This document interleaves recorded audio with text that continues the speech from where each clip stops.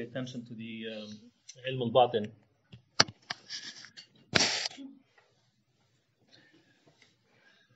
And then he, I think he speaks about fard kifaya, fard kifaya, but I didn't, uh, I didn't, uh, I read it and I don't know where it was. Anyways, fard kifaya is the thing that we, we don't have to, all of us have to do. Is if one of us do it, if one of us uh, studies a certain science, then everybody else is absolved. For instance, um, like we mentioned about medicine, if someone studies medicine, then he has covered uh, his, his, the responsibility for us to, to, study that is no longer there. But uh, it's interesting how some scholars said that um, fardu whatever is wajib for you, is, is very is, has a lot of rewards.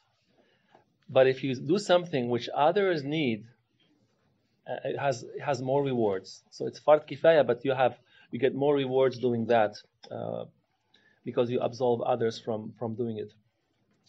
And he, then, then he speaks about these furud, these uh, sciences, uh, and he says that, so he, he takes a, medicine, which is very noble, that's a very honorable and noble science, and then he compares it to the science of, uh, of fiqh.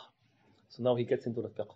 And he says that uh, the science of medicine has to deals with deals with the organs, the blood, uh, other things which are physical, which is very important. But the science of uh, fiqh is uh, is more honorable. There's no no comparison. The science of fiqh has to, it deals deals with um, uh, with the Sharia, and he says, "Ya'lam الفقه مجاور لعلم طريق الآخرة." This knowledge of fiqh is the companion or is your companion in your path to the hereafter. That's why there's no comparisons between these sciences and the science of fiqh. So it's very, very uh, way above everything else. Because if the heart, uh, and then he speaks about the heart, if the heart is good, then the, the, the limbs, um, the limbs will behave properly. And then he gets into something else. He says, um, he speaks about, of course, the sciences of the heart, like we said last time. And then he says, what if we let's speak about the sciences of, of the heart and, and if someone asks you what, what are the details he says there are two things to do with the science of the heart so the, the one is the mukashafa and the one is muamala and mukashafa if you recall the first book that i mentioned uh, uh the first class what was it Jazakallah khair. So this is what he's talking about. Mukashafat al-qulub is the thing that unveil uh, from from your heart, or that that unveil, and then you see with with a heart that is very pure. So that's what he speaks about. And then mu'amala. And then mu'amala, some of us may, uh, our minds may go very far. What do you think is mu'amala? It has to do with the heart. When we speak in fiqh, mu'amala is the second part of fiqh, which is ibadat and mu'amalat. So it has to do with the, with, uh, yeah, yeah, contracts, uh, politics, uh, divorce, marriage, um, inheritance, and so on. But um, you know, لا مشاحة في الاصطلاح. There's no problems in, in, in terminologies. In the fiqh, this word is used for something else. In the fiqh of suluk is used for something else. In this science, muamala is used for um, a different. We'll, we'll speak about it in a minute. So al-mukashafa, he says, أما علم المكاشفة فهو علم الباطن. So it is the science of the heart. And, and last last week, uh, remember your name, Ahmed? Forget Ahmed. He, he, he summarized the, the whole thing in, in just one one phrase. He said, "We're talking about how you deal with yourself, with everyone else, and with Allah."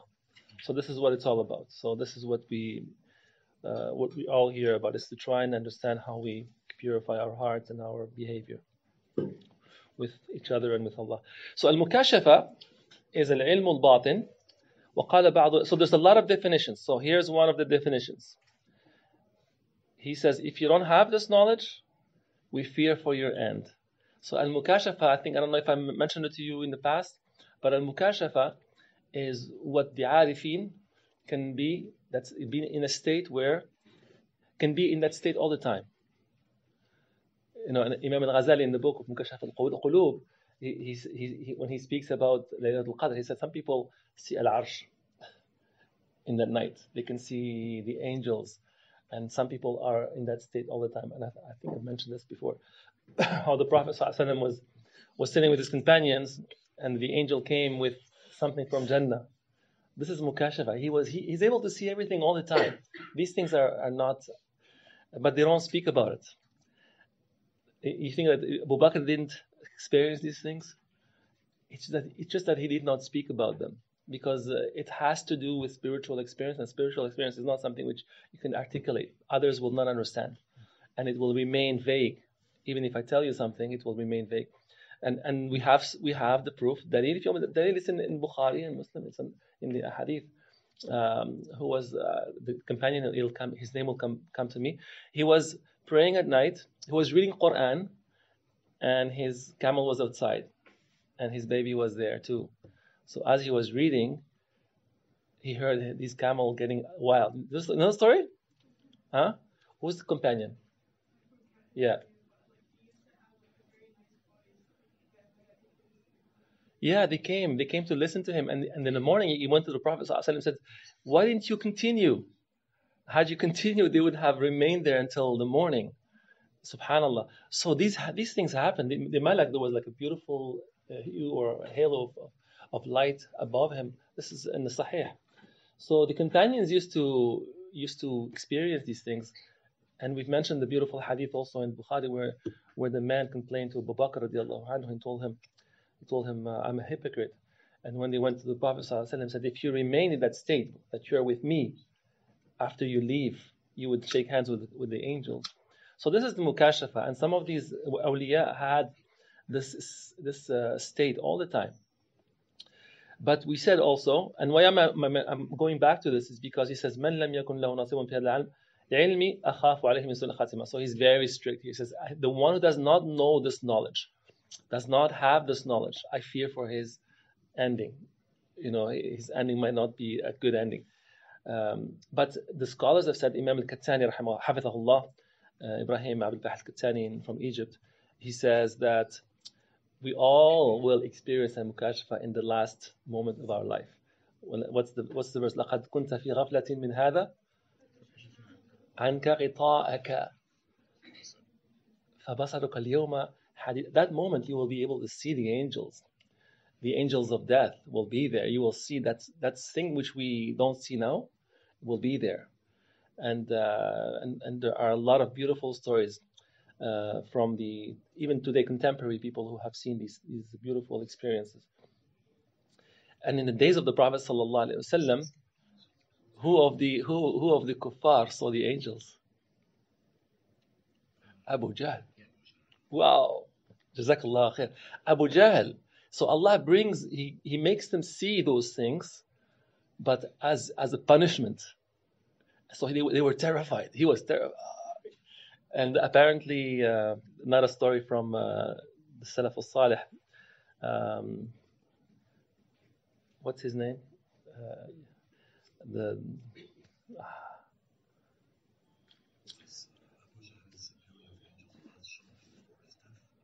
No, no. Uh, when when he wanted to um, to hurt the Prophet sallallahu alaihi wasallam, Al-Thaqafi, what's his name? Al-Hajjaj. Al-Hajjaj called one of the you know one of the companions over the Tabi'in, and when and he, when he was coming to him, he was reading a beautiful du'a, which I can share with you after if you want. And he when he reached to Al-Hajjaj, Al-Hajjaj was known to uh, to be a real a real oppressor. He would, you know, cut, cut his head or kill him. It was bad. So he came and he stood up and he, you know, he made him sit where he was sitting. And when he left, what did, what did you do? You were calling him to, to execute him. He says, behind him, there were two huge, either angel, angels or two huge, uh, um, um, some, some animals behind him that protected him. So he saw something. So some of these mukashafats for, for the bad is as like a punishment or a warning or a caution. And for the good people, it's only it's only a matter of it's, it's peace and and uh, the, the arifin, they, they feel this, but they don't share it. They don't really talk, talk about it. So here's he says if you don't if you don't um, uh, if you don't see this or if you don't have this knowledge, then I fear for your uh, bad end. Of course, in another in another definition, what he says what he says this means that you have to believe it. That's all. You have to believe that this exists. That's all it means.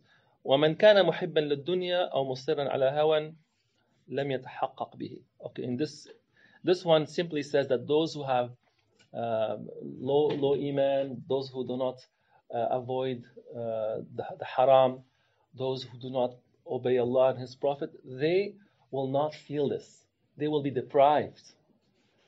Okay, so the more you obey Allah, the more you are close and the more you will taste these, these, these beautiful experiences. Um, and especially, he says, especially if, and he says two, two things, two characteristics that if you have, you will not experience this. Bid'at, bid'ah, wa kibar. To have an innovation. And Ahl al-Suluk, Ahl al-Tariq, they are the strictest in following the Sharia of Allah and His Prophet. They're very strict in the Sunnah. So the bid'ah and being arrogant, like doing things for, for show. Uh, so there's other other definitions which are um, which he mentions here. Is it really Maghrib? Hmm? Ah, MashaAllah. Allah Allah.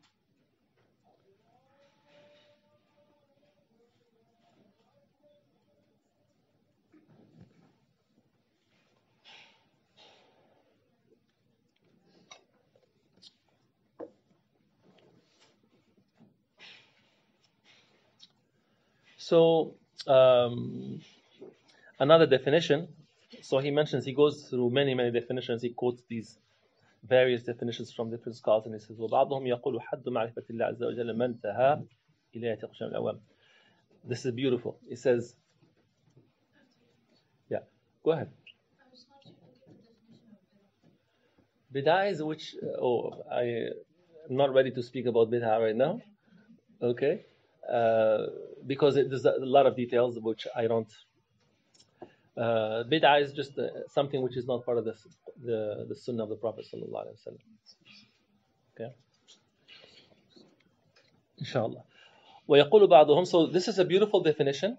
He says that this uh, knowledge of Allah, this ma'rifah of Allah, which is al-mukashafa, is simply the belief that we all have like believing in the unseen, believing that there's angels. العوام اعتقاد العوام that's all اعتقاد جميع العوام and this is beautiful because that just brings us all in, in one fold of you know average human beings who, who really cannot have the mukashafa as as we are talking about here uh, وأنه وهو أنه موجود عالم Allah he speaks about his beautiful characters and, and صفات بصير متكلم فنعني فنعني بعلم المكاشفة أن يرتفع الغطاء حتى نتضح له جلية الحق في هذه الأمور. So in, in that, in those, in, for, for those people, for us, is that we, we know those, the meanings of those names, the, the meanings of, of the attributes of Allah. And the more we know Him, the more we obey Allah, the more we understand those meanings. Al-Alim, Al-Ghafur, Al-Rahim, and he's, he's the Halim, He's the, he's the one that wants you good. So all of these things, we believe in them and they become clear, those attributes, then our mukashafa becomes closer and higher and higher. Um, and so on. وإنما very important وإنما تص, وإنما تصفيتها وتطهيرها so the heart becomes uh, uh, starts to understand these things by cleaning the heart وتطهيرها from what? From avoiding the sins and the temptations. And the, the, the, the stronger we are, the easier we don't even want to get close to those temptations and, and, and, and the muharramats. And, and also to follow, of course, and, and as we do that, we follow the sunnah of the of the prophets, uh, alayhim salam. Shall we pray? And we come back. وصلى الله وسلم على سيدنا ونبينا محمد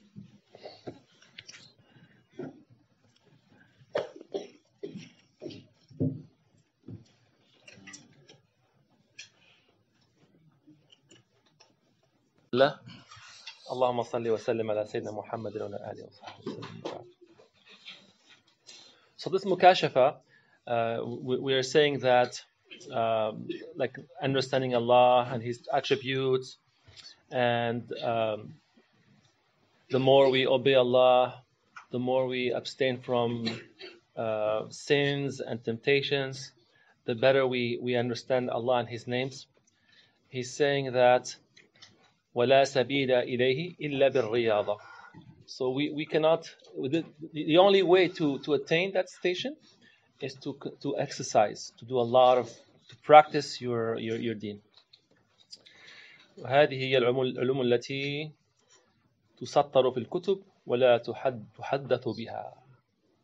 So this is clear. I mean, like I said earlier, if you think that Sayyidina Abu Bakr radiallahu anhu did not have this, this level, this station of level, um, it, he had, he, they all had, all the companions, all the companions had a very, very special station of Iman. But the reason why we don't know is because they didn't speak about it. He says here, وَلَا تُسَطَّرُ فِي الْكُتُبِ These things you don't write. You don't articulate. You don't put into words. It's hard. ولا يتحدث بها من أنعم الله عليه and the one who has been blessed with that doesn't speak about it if he's really in that state of ma'rifah he doesn't speak about it I can tell you you know what you know what I saw last night mashallah I made, I made Umrah and came back Ooh. if I really went to Umrah and came back, I wouldn't tell you. You know who made Umrah and came A lot of the great scholars. Guess, guess who was one of them? Imam Nawawi. His student who spent 10 years with him or 8 years with him. Yes, Imam Nawawi, Shafi'i, the great Shafi'i. I didn't hear anything.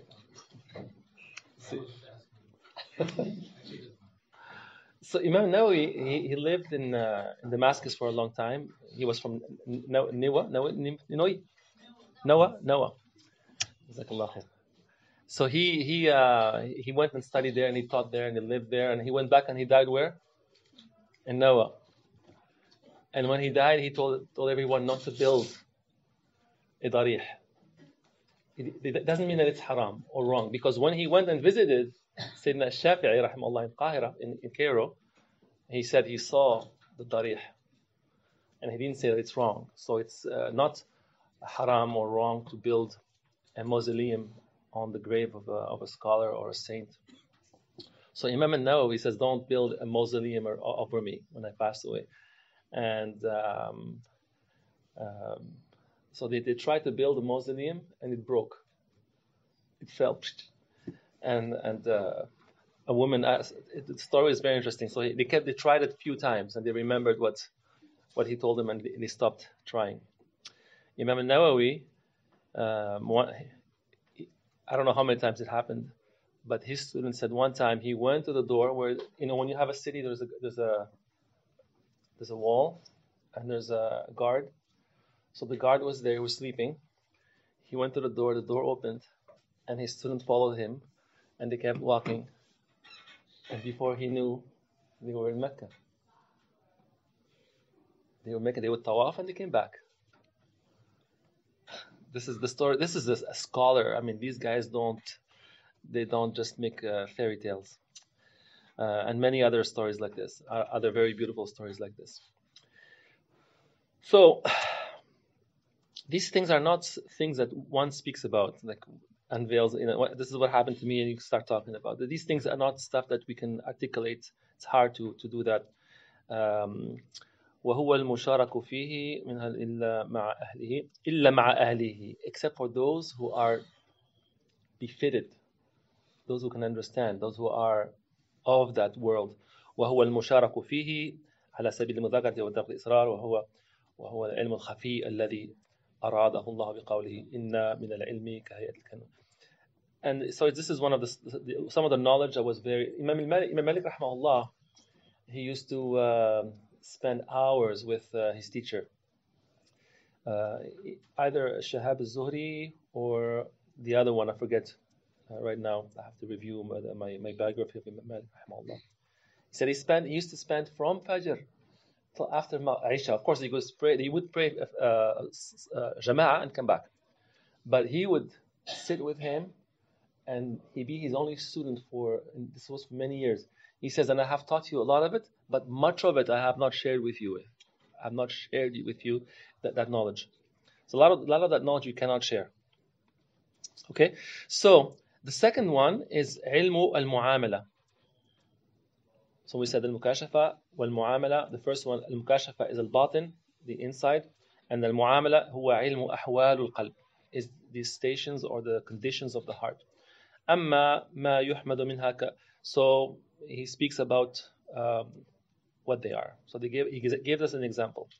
The things which are highly desirable, which are um, praised, like patience, thankfulness, fear of Allah, hope, content, azud, taqwa, reverence of Allah, um, you know, generosity, knowing Allah, wa ma'rifatullah, wa ma'rifatul minnati and to know that everything is Allah that has to be has to be thanked for everything. We have to recognize that Allah has blessed us and we have to thank Him.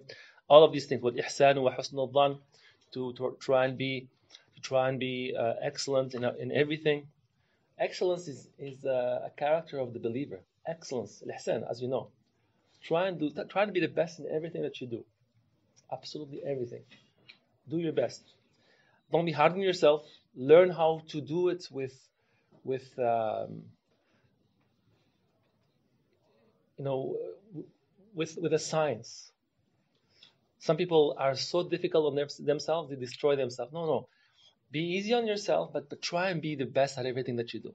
Every moment, try and be uh, excellent in that. وحسن to be to have the good, the good, good opinion of Allah, to have beautiful manners, to be to have beautiful conviviality with others, to be truthful, and so on. So he mentions all of these, and these are the beautiful, beautiful characters that are uh, uh, praiseworthy. And then there's also that, that, that he calls al-muhlikat. So ربع العبادات muhlikat. What what's what are the the four uh, arba? Uh? No, no, of the of yeah, there's four books.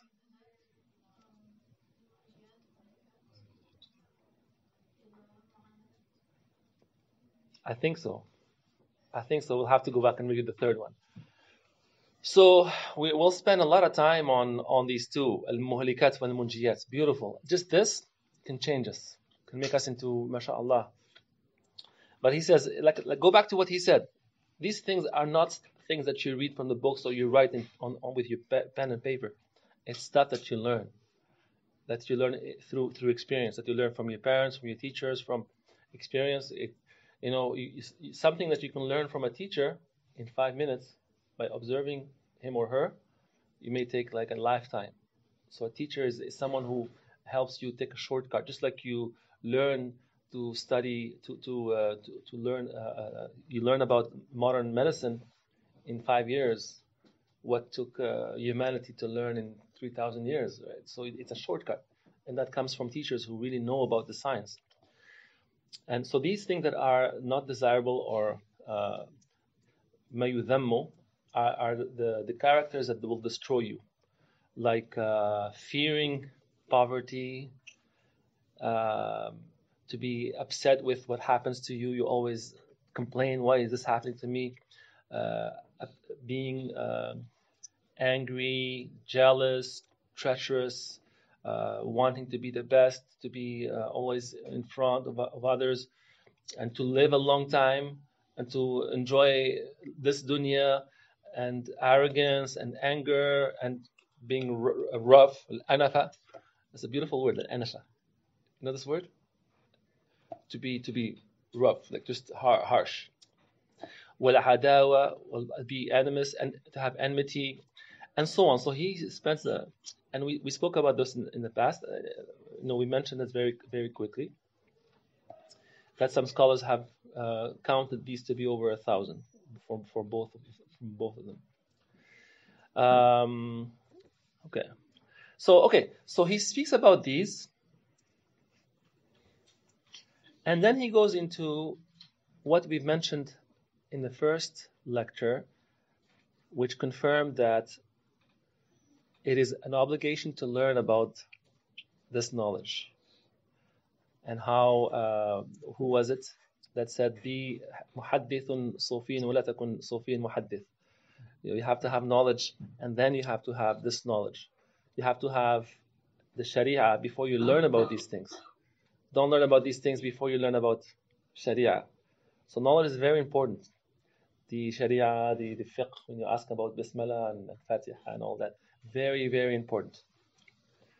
Um, and then he goes into what he had, what he, what he had, what he had spent a long time fighting, which is the, the, the knowledge of philosophy. We'll skip that, inshallah, no problem.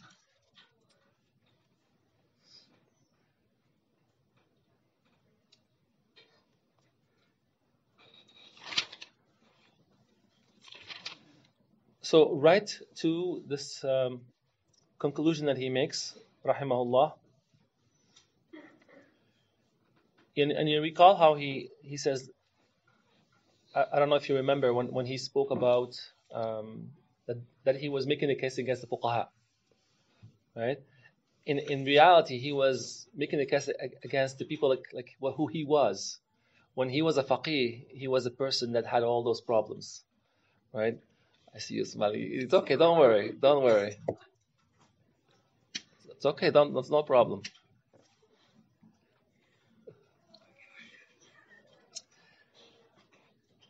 So to to make, so he says, okay, don't don't worry. He says, don't worry. Um, I have not. I am not denigrating, defaming the fuqaha at all. In fact, the fuqaha are very important, and in fact, those fuqaha that I'm going to speak to you about have mastered the science, the science of the heart. They have mastered. So he says, وأنا سنقول وأن على أن سننقل من سيرة فقهاء السلف ما تعلم بأن الذين انتحلوا مذاهب ظلموا وأنهم شد خصماءهم يوم القيامة فإنهم مقصد الماء. So the, the, these, these fuqaha that I'm going to share to, that I'm going to speak to you about are really um, very, very sincere, and they only wanted the, the, hereafter. هم علماء الآخرة and he says فإنهم ما كانوا متجردين لعلم الفقه Fiqh is not the only thing that he did. This is very important. Okay, this is if you know anything today, if you're going to learn anything, it's going to be this. It says فإنهم كانوا متجردين لعلم الفقه بل كانوا مشتغلين بعلم القلوب ومراقبين لها. Okay. It's true that they were busy with fiqh. But it doesn't mean that they were not conscious and busy also with the, the knowledge of the heart. بعلم القلوب ومراقب ومراقبين لها ولكن صرفهم على عن التدريس والتصنيف فيه ما صرف الصحابة. We'll get there.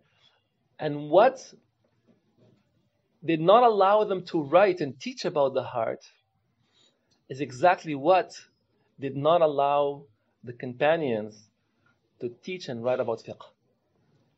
They did not have time. Abu Bakr radiallahu anhu, how much narrations does he have in Bukhari? Aisha anha and Abu Hurairah and Bilal, they all have much more than Abu Bakr. But who's more knowledgeable? We know it's Abu Bakr. The same with um, Umar, the same with the other great companions. These companions did not have time to narrate hadith, sit down and teach in great, uh, you know, in audiences. So for the same thing, that the same, the same uh, um, the same thing that did not allow these fuqaha to teach about the heart is what did not allow the companions to teach about fiqh and the heart. So they weren't able to do it. But we are told that uh, some of the companions, it's not going to be mentioned here, some of them did, did teach the things of the heart. And that's where we have the chain of narration of this knowledge. Just like we have the chain of narration of hadith and Quran and everything else, we also have the chain of narrations of the, the science of the heart And we can, uh, we can pick up that another time, inshallah. Um, and then he starts to speak about who are these, these fuqaha, these great fuqaha. He says, فالفقهاء الذين هم زعماء الفقه وقادة الخلق the great heroes of al-fiqh and the great leaders of creation are the five major schools of thoughts. What are they?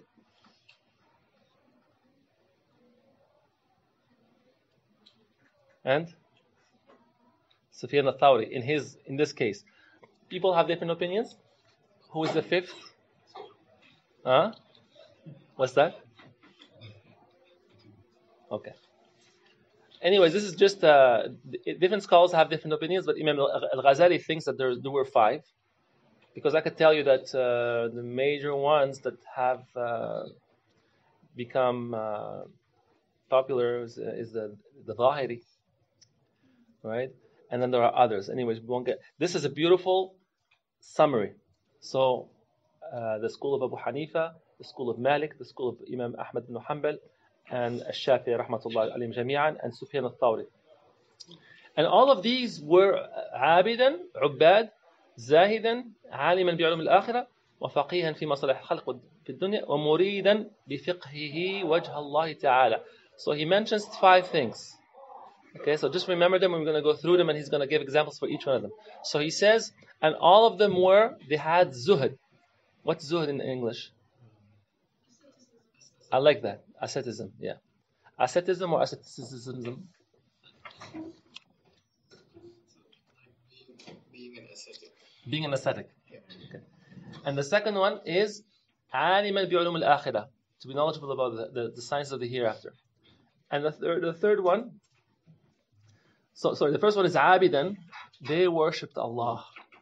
They were the worshippers. The second one is ascetic. Okay, they, they, had, they had they did not love this dunya. They were divorced from, from this dunya. وعالما بعلوم الآخرة, the hereafter. وفقيها في مصالح الخلق في الدنيا. And they were knowledgeable about the, the what is what is what is uh, useful and beneficial for the interest of this dunya, uh, for the, the people, for this, these people in this dunya. So they cared for the people. وَمُرِيدًا بِفِقْهِ وَجْهَ اللَّهِ تَعَالَى And all of this is just for the sake of Allah, for, for, just for His pleasure. So these are the five different characters, and, and then he, he mentions, starts speaking about them, and he says, فَأَمَّا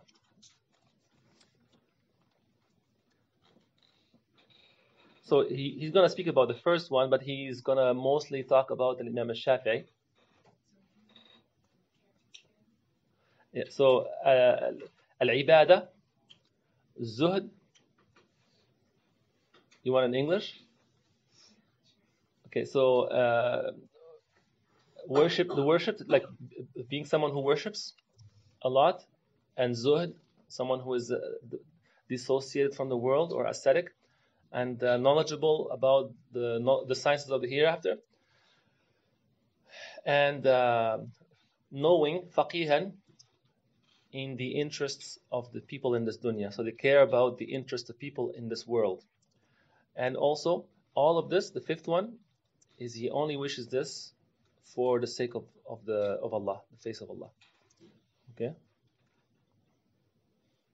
And, and he says, well, unfortunately, the fuqaha only have focused on one, but these fuqaha have focused on all of them. Uh, and now he wants to give us the, some of the ahwal, some of the states, some of the spiritual state that they, they, uh, they lived with. It says Imam Shafi, and here he speaks about Imam Shafi because he's a Shafi'i. Okay, but he's not being uh, biased. Uh, if we just focused on any one of them, we would see all these beautiful characteristics. But he speaks a little bit about Imam Malik after and Imam Abu Hanifa, and they were all all really really beautiful. Imam uh, Ahmad ibn Hanbal, uh, he's the you know the master of the the zuhad. He was so poor. Imam Ahmad ibn Hanbal was very very very poor.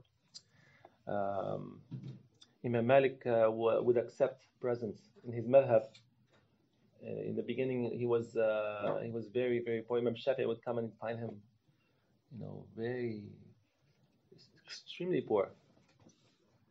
And one time he came back later on and he found him. He had all these riches, all this wealth. And his house was filled with carpets and, and furniture. And outside he had horses and camels and mules. And Imam Shafi almost disappointed. He says, Imam Shafi, Imam Malik, what, what, what is all this? He says, Oh, you're talking about this? They're all yours. No attachment. No attachment. He said, Well, at least keep one horse for you to, to travel. He says, He broke down crying. He says, How would I, how do I ride a horse in, in the land where the Prophet is buried? This is how, how much they loved Rasulullah, how much they respected the Prophet and the city of Medina, how much he respected the city of Medina. Um, so, and, and um, Imam Ahmad had the, the, other school. He would not accept presents. So he, would, he was seen extremely, extremely, extremely zahid and poor. So we have um, Imam Shafi, rahmahullah, he would divide the night in three. And the night would start by Maghrib and end at Fajr. So divide that by three. One third for ilm, one third for uh, for ibadah, and one third for sleep. Okay, and you know the story when uh, when he went to stay at Imam Ahmad. Remember that story? Beautiful story, Imam Ahmad. He went to stay, and uh, the daughter of Imam Ahmad observed him.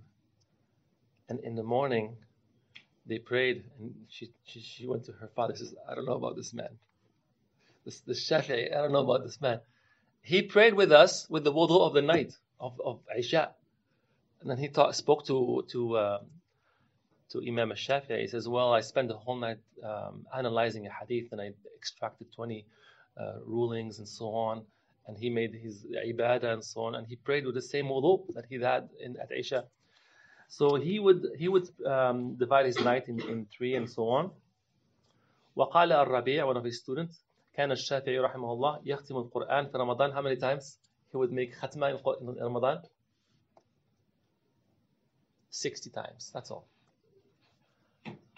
one time I gave a little uh, khatira reflection in, in, in Taraweeh and the brother came to me and says you should not have done that people can do this it's true, but we speak about them to give us inspiration, just like we speak about the great marathon runners. They can, you know, you know what's the fastest marathon now? Two hours and 25 seconds. Allahu Akbar. I think I can walk uh, five kilometers and then sleep the whole night, the whole day and night. Subhanallah. So, Subhanallah, these were these were the, the state of these great 60 khatna and it was all in Salah. Amazing. Allahu Akbar. Um, like, like there was, um, like, for, for example, in one of them where it did say how, how would it be possible to finish the whole Quran uh, during Taraweeh? And, uh, and, and, and, and, and, it was possible, like where, where, uh, where there was. In one night, you mean? It, it, yeah, exactly. In one night of Taraweeh, from Isha, uh, starting from the first page and finishing the, the last page right yeah. And there were certain companions, certain uh, people, including Sayyidina Umar radiallahu anhu, Ibn Umar, who would finish the entire Quran in Salah in front of the Kaaba. So there were only a few people who would be able to do that, who, who did that and who were known to have done that. So 60 khatamat رضي الله عنه وكان البويطي أحد أصحابه يختم القرآن في رمضان كل يوم مرة كان أحد الصحابة يختم القرآن Okay, so once, at least once. So he's, he's, he's his companion. So they're talking about one of his companions or his student that he would do khatma. And people do that. It's not incredible. I mean, it's incredible for us. وقال الحسن الكرابيسي بت مع الشافعي غير ليلة كان يصلي نحو So this is another student of his. I slept with him. I spent the night with him more than once, and he would make he would um, stay in salah the, whole third of the night. And, and in that case, he would not go beyond 50 verses.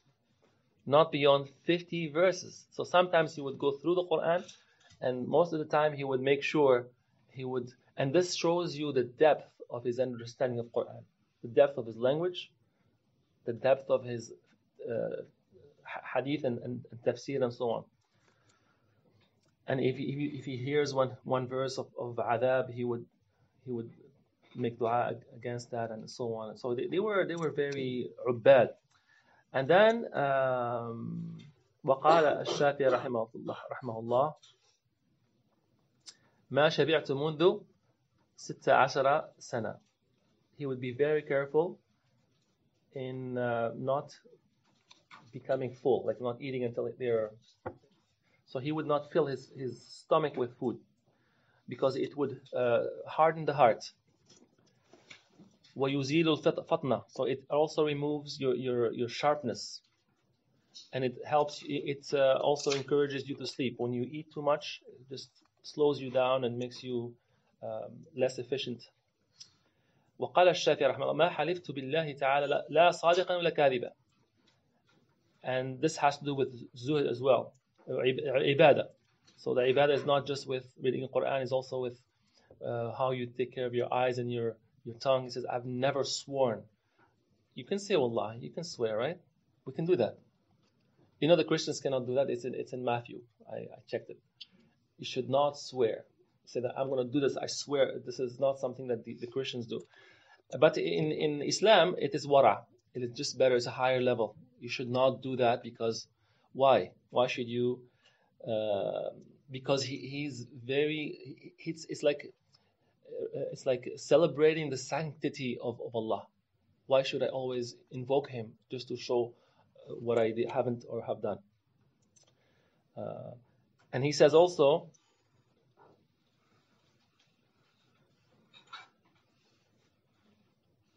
One time he was asked about a que- about a question and he did not answer. Not like me. It's Shafi'i. Uh, yes.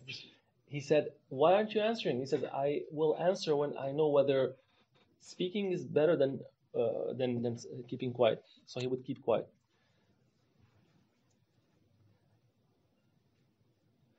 Um, and one time he was walking in the marketplace with with uh, some of his students, and they heard someone uh, insulting somebody else. Uh, he was a student of knowledge or, or a scholar, and he says, Be careful with what you hear, just like you're careful with what you say. So avoid hearing the bad things. There's a lot of movies now we, we watch, and there's all, all sorts of foul language. And we become accustomed that we sit with family, we sit with friends, we just sit and we just watch. And it's become normal. We have been diluted, we have been polluted right? So we just listen to that. And so he says, be careful with your ears, just like you are careful with your tongue. And, and in this case, the reason why he says you should be careful with your ears is because the one who is insulting you is trying to get you angry. So when that hits you, then you will use your tongue. And then you will be doing something bad with your, ear and also with your with your heart. Um, and now, so now the second one is zuhd. So we, we spoke about uh, ibadah and then الزهد. He says أما زهده رضي الله عنه فقد الشافعي فقد قال الشافعي رضي الله عنه. He says, and uh, this summarizes the entire uh, subsection here. ومن ادعى أنه جمع بين الحب حب الدنيا وحب خالقها في قلبه فقد كذب. You cannot claim that you love Allah and what He has created, or or the dunya. You cannot claim that you love the dunya and its creator. Okay. If you do that, if you say that I love both the same, then you are lying. It doesn't mean that we don't ask for the dunya. We ask for the dunya and the akhirah. But when you ask for the dunya, it's not for the sake of the dunya. It's for the sake of the akhirah. nasibaka min dunya means, okay, don't forget your due, your what is due to you from the world. It means you're using it because um, so they can reach the, the hereafter. And he mentions, um, someone mentioned Al-Humaydi, خرج الشافعي رحمه الله إلى اليمن مع بعض الولاة فانصرف إلى مكة. So he was he had spent some time in Yemen, and then uh, and then he came back, and before entering Mecca, he spent some time. He spent a, just one night. They they built a, a little tent for him, and um, he was given um, he was given ten thousand dirham, a thousand dirham, no ten thousand dirham. And that night, because he was there, everyone knew that he was there. They, they kept coming to see him. And by the morning, he had nothing left from the money. He, everyone that came, he would give him money. He had no problems with that. He was very happy. Gener- his generosity means that you're not attached to the world. And one time he says, Kharaj al hammam. One time he went to, you know the hammam? It's the Assalamu alaikum. What's your name? Ahlan wa sahlan, Abu Bakr. MashaAllah, the best name. Um, so he, he, he, went, he went to the bath to wash. And when he went out, well, what do you give as, as a tip? You know, he paid already for his service. But instead of giving a small tip, he says he gave a lot of money. فأعطى الحمام مالا كثيرا. Uh, and one time he was walking uh, or or riding his, his mule and his what's what do you call that? The whip, yeah, sawt, fell to the ground and someone p- picked it up for him and he gave him a lot of money. he just he, he was he was per- perhaps we are told that his generosity is unheard of. Now we speak about Dawud Ta'i, we speak about the some of the most beautiful people in, in history, but Imam al-Shafi'i was extremely, extremely generous, extremely generous. كان رأس الزهد والسخاء. Um, and this is the, the, the conclusion. لأن من أحب شيئا أمسكه ولم يفارقه. If you love something, you will hold it. You will not let it go. He was not like that. The dunya was in his hands. It was easy. It was easy for him to let go. Um, ويدل على قوة زهده وشدة خوفه and so on and so on. So he tells us another story, and this is about, we, we, I remind you, this is about the zuhd. Zuhd is how he is dissociated from this world. Um,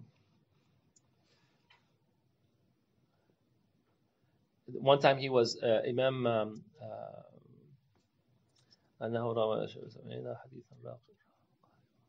one time he was sitting with Sufyan bin Uyayna, and uh, they heard, and they were both listening to someone who spoke about al-raqa'iq, a beautiful story that makes your heart soft. And Imam Shafi'i just just fainted, uh, and and they thought he had passed away, and they even said, "Oh no, if he passed away, the best person of our age has has, has died." uh, another story was about um, um, Abdullah ibn Muhammad al-Balwi so he's giving us this beautiful story he says I was with says, I was with Umar ibn Nabata um, I was yeah and we were speaking about the zuhad. Right now we're speaking about the zuhad. And what does the beautiful say, saying say? عند ذكر الصالحين تنزل الرحمة. When you speak about these beautiful people, the rahmah of Allah descends. All the scholars have said that.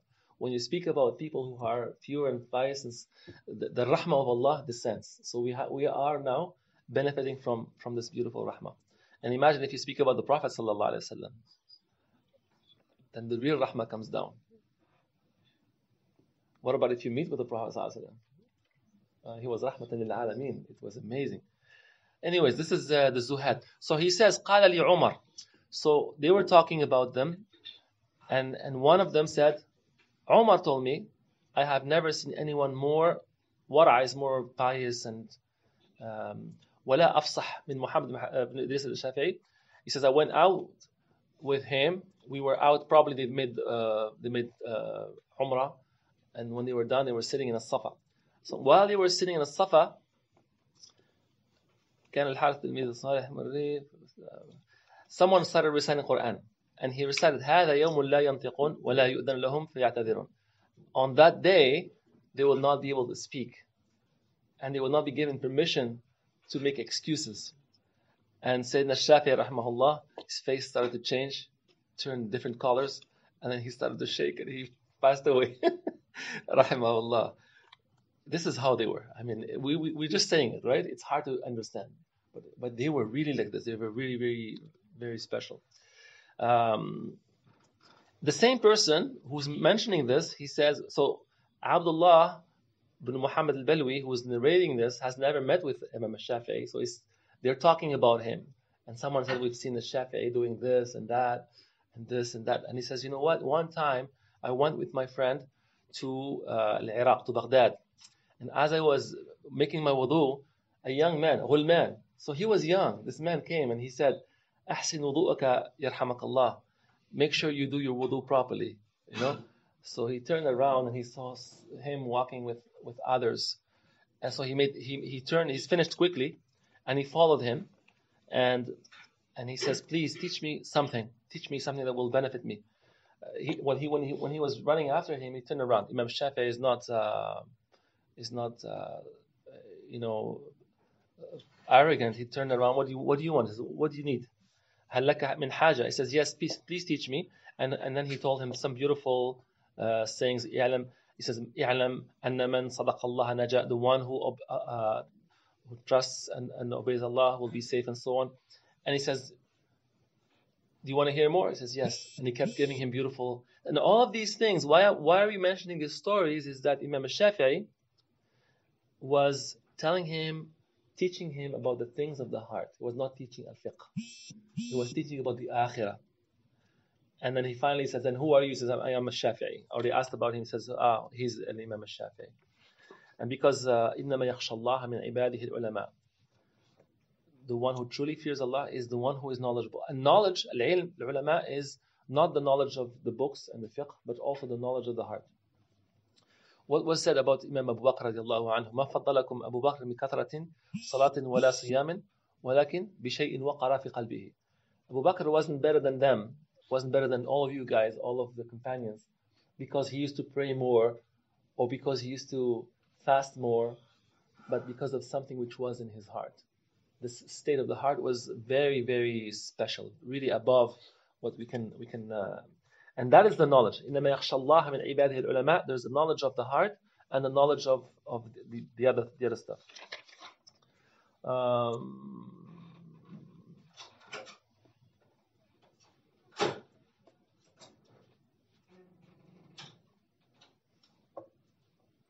and he was asked, radiallahu anhu.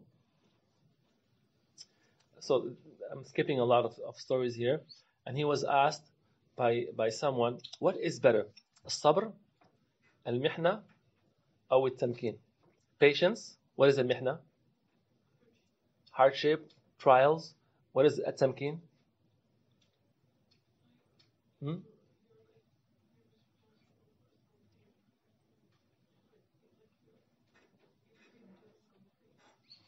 Tamkeen is a state where you're literally on top of the world.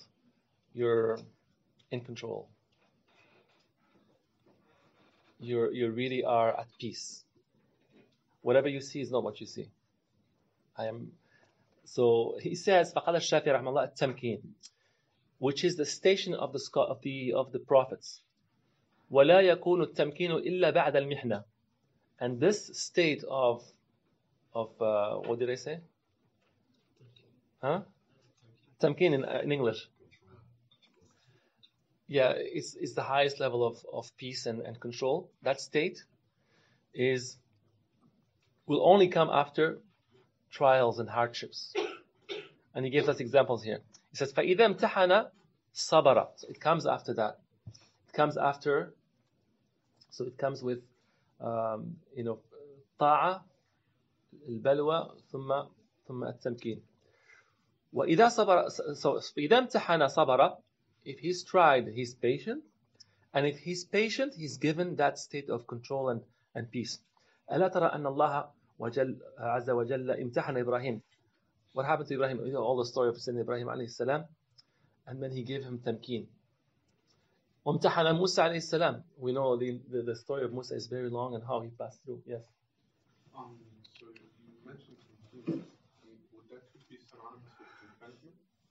be that's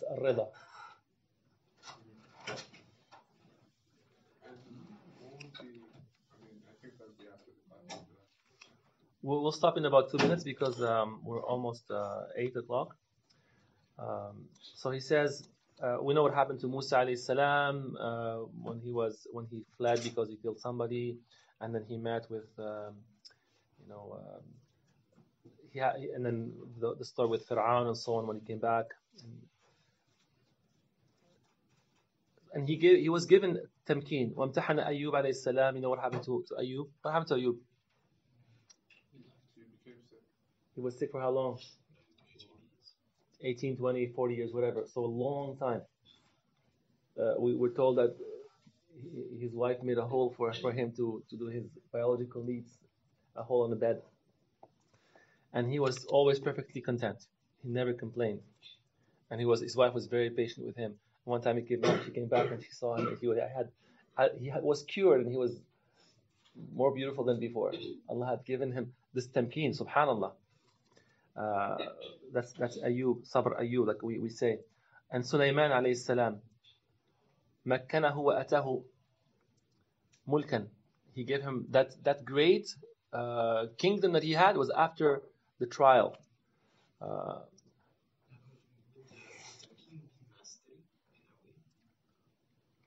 yeah, you are given, but you are gi- that's it's a very high station. That is that he calls here the, the, the station of the of the prophets. You know, you have you have people who, like poor people, alhamdulillah, they can like, and, and this is beautiful because we, we, we, it gives us a lot of hope, a lot of hope that we can we can have a life of happiness. We don't have to be we don't have to go through all the hardships. We go through some hardship, and then after that we reach a station where we can we can glide or or just Yusuf alayhi salam. He went through so much, and after that, he was, and it's in Quran in Surah Yusuf. It was given a tamkeen. But a lot of us, uh, we're we see some people who go through a life, mashallah, he's got all of these things, and then he passes away with with beautiful ending. Allahu Akbar. Because his, his station is not the station of a prophet. But Qadi Iyad, you know how he passed away? Qadi Iyad, he, he stood up and he, uh, he faced uh, the, the opposing army and they, he lost the battle and then he was killed by the Khalifa of that time. He was peeled. It was a terrible death. And then he was thrown in in, uh, in the graveyard of, of, of, I think, Jews or something. And then he went and, and they fetched him and they buried him and they uh, built a mausoleum above him. And he's one of the awliya of Marrakesh. So uh, some people go through very, very hard because they, they, they can take it. Um, Allah says, وَكَذَلِكَ مَكَّنَّا لِيُوسُفْ فِي الْأَرْضِ um, and then the fourth one which is what was the fourth one? Maybe we'll just finish these four things. فقيها في مصالح الخلق. So they are knowing, knowledgeable about the things that are uh, beneficial to the, to the people. He would say, وَدِدْتُ أَنَّ النَّاسَ انتفعوا بهذا العلم وما نسب إليه. He says, I don't care what people say about me. If I'm a scholar, all I wish to know, all I wish to do is that people benefit with what, what I do. And, and he would say also, ما ناظرت أحدا قط فأحببت أن يخطأ. He says, I never argue with anybody and wish that, that I win and he loses. It's, that's, not about, that's not about that. He always wants the truth to come out. And he always wishes, even if the truth comes out from the other person's tongue. Um, and that's the purpose of, uh, of any argument in, in al-fiqh. Uh, and, and Imam Ahmad ibn Hanbal says ما صليت صلاة منذ أربعين سنة إلا وأنا أدعو للشافعي I haven't prayed a prayer since 40 years except that I pray for Imam al-Shafi'i and that's what they used to do for one another. They would pray for one another because they, they knew that that person was beneficial for everybody else. As long as he's alive people will benefit. So I pray for him. And when he passes away I pray for him because he deserves that I pray for him. Um, and he says they would say also that there is not one single person that has not benefited from Al Imam Shafi'i. Others have prayed for him for also for, you know, you know what happened to Imam uh, uh, Ibn Taymiyyah when he passed away. There were there were thousands who have come to his grave and read Quran. And that was not his his opinion is that you don't read Quran for the dead, especially in the grave. But people loved him, even those who, who disagreed with his opinion. They went to his grave and they prayed for him. That's how much. That's what the scholars are. How how um, how how people love them. And Imam Malik, um, as well, he says he had all of these five uh, different elements. Uh, the, they asked him, "What do you think about seeking knowledge?" He says, "Well, seeking knowledge is what is useful for you from the more from the time you wake up in the morning to the, to the moment that you sleep. What is beneficial for you? This is what is important that you learn. Knowledge is what is beneficial to you as long as you're alive. Um, and he was excessive and exaggerating in the way that he glorified knowledge. Uh, he would, um, someone knocks at his door, people would visit him from different parts of the world, and, and he would give he would give precedence to certain people. The people of Quraysh would enter because they're from the family of the Prophet then the people from different parts of the world, and they would he would he would receive them and before they come in, he would say, "What are they here for? Fiqh or hadith?" If, if it's if it's for, for for hadith, he would take a shower, and he would fill the house with scent, and he would sit on top of a of a of a big pillow, and then he would allow them to come in. He would look very beautiful, and all of this to glorify and to sanctify the uh, knowledge. we'll stop here, inshallah. If you have any questions, we can, we can talk about it, inshallah. Barakallah. Jazakumullah. We will, we will soon just move into the um, uh. Any questions, any comments, any observations? Barakallah fikum. Huh? This? This is the Ihya Ulumuddin. This is Imam al-Ghazali himself. And the tahqiq is by Imam al-Iraqi, who lived 300 years later. The authentication of the hadith, the authentication of all the hadith are by the great scholar of al-Iraqi. It's a difference of opinion, that's all. It's just difference of opinion. Uh, you can make dua, you can make dua for the dead. He said those the two opinions, one there's more than one opinion. One opinion is you don't read Quran for the dead. You can do a sadaqah for them, can do hajj for them. You don't pray, you don't do salah, you don't read Quran for them. Okay, so that's an opinion.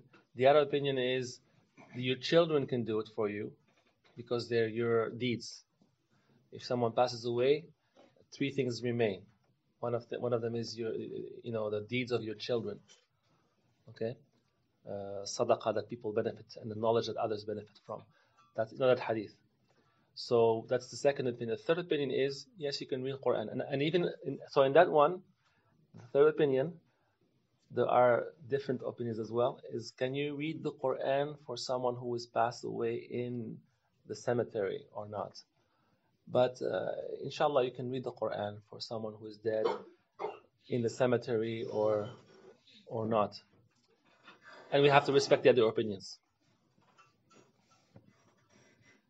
And is that also the case if the um, body of the marhum is not there with you? Yes? Yeah. You can do it miles away. You can read for for the person's yeah. Yeah.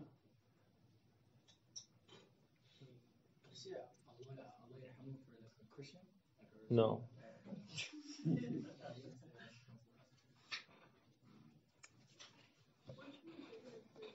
Excuse me? This is the first one. Yes. Okay. Sure. Yeah. You can read Yasin, Fatiha, Qul Huwallahu Ahad. And this is the beauty of, uh, of Islam. It's so simple. Um, you can read Al Fatiha when you're walking. You can read on the bus, and you could dedicate it for. But when you read Quran, whether you read it from the, the Mus'haf or from memory, you should say you should have the intention, and you say this is for me, and similar rewards for that person. So you want rewards as well. And Allah ta'ala is, is amazing, subhanAllah. He can give it to you and to others at the same time. And some say that uh, some scholars, when they read Al Fatiha, they do it for themselves and everybody who's dead and alive. And so, uh, inshallah. So, like, um, uh, like when comparing, for, for example, when it comes to worship, for for uh, for our Shafi, and I, basically it was mentioned that that uh, that the one third of the night he would basically dedicate for no more than for 50 verses. But then you'd have like at times during Ramadan where where um, where they'd be able to have like uh, like two two completions of the Quran in the same day. Yes. So so like which one like would they be focusing on? Because like they would be focusing on no more than Who? 50 uh, for um for Who uh, should be focusing? Us? yes exactly Yeah. Us, it's uh, it's minimum and continuous. Habul ilallahi wa in The best deeds that you should do that Allah loves is minimum but regular. So even if you do just two rak'ahs a night, that's amazing. Allahu Akbar. If you do 100 istighfar during the day, but every day, it's better than to do 100,000 istighfar one day and then to, to quit because that aff- affects you every day. It will affect you. That two rak'ahs will affect you the next day.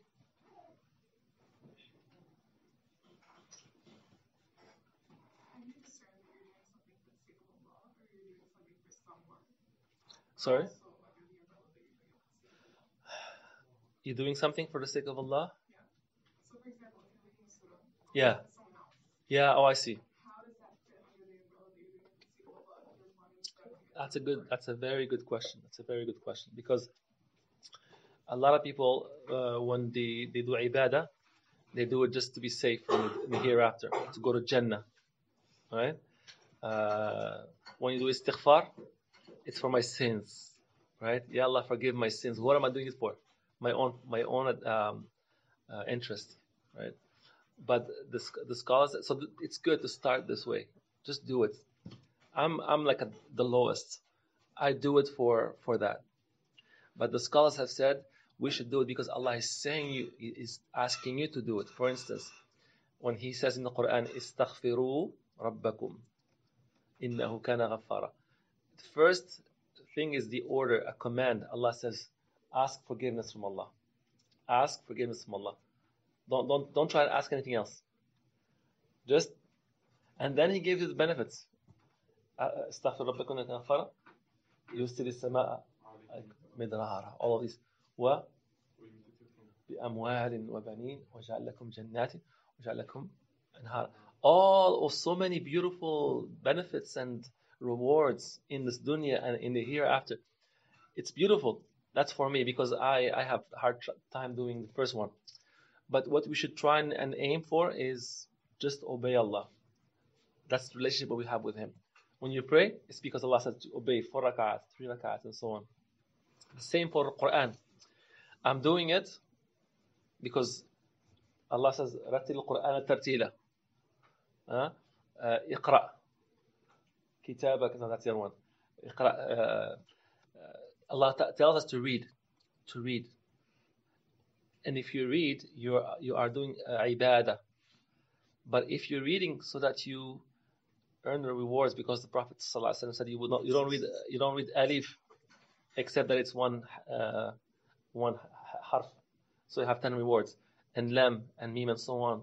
So you get all those rewards. There's a lot of rewards and there's a lot of hadith about the virtues of reading certain verses and certain uh, uh, surahs.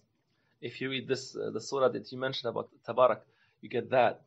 And so, on. but you do it for Allah first. And the second one, if you do it purely for Allah, it's best. And you will get the other stuff. Even the other stuff you will get, inshallah. So try to focus on obeying Allah alone. Just do it for Allah, for the sake of Allah. Allahu alam. The same with salawat al nabi. We'll speak about that one day, inshallah, or in a khutbah or something. When you say Allahumma salli ala Sayyidina Muhammad, there are so many, so many virtues. Subhanallah, so many beautiful virtues. But Allah in the Quran says, Sallu, and, and the story, Sallu alayhi wa sallimu taslima. It's enough of, of an honor that Allah is inviting you to join Him and the angels to do the salawat. But then there are many hadith that says, فَإِذَا تُكْفَ هَمَّكُ وَيَغْفَرْ ذَنبُكَ So many, many beautiful vir- uh, virtues and rewards. Uh, it's a good question. Jazakallah khair. Jazakumullah khair.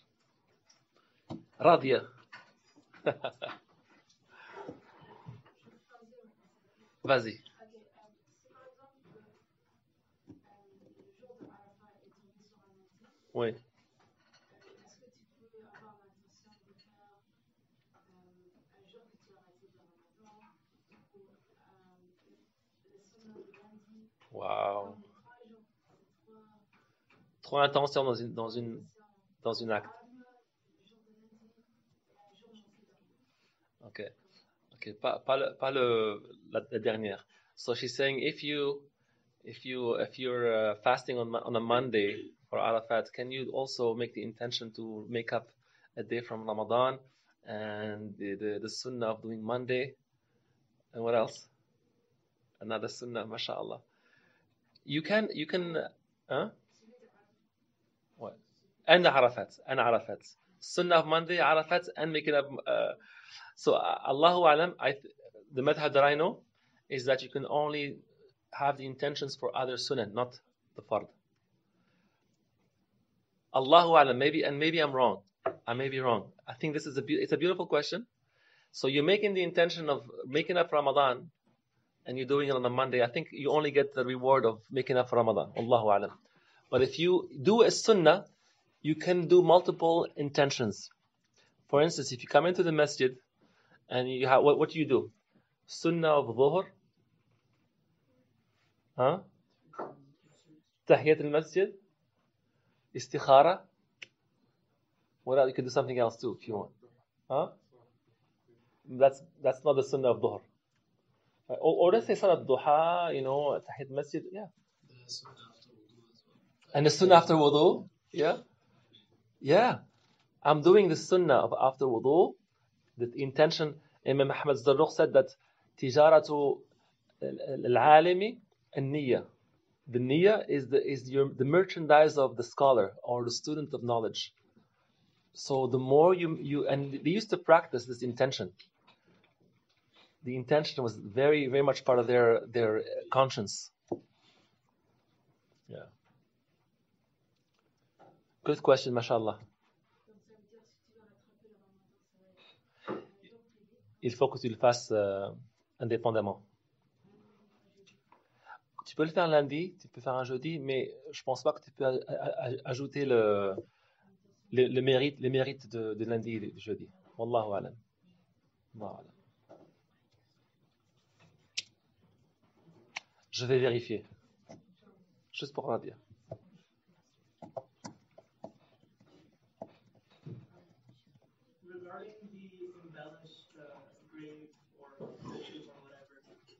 So you, you mentioned that it's not bad per se, but um, I've, I've heard oftentimes that it's bid'ah is in the context where people uh, almost incorporate it into the deen uh, to the extent that they go there and make dua like specifically because they're there and they're near the body.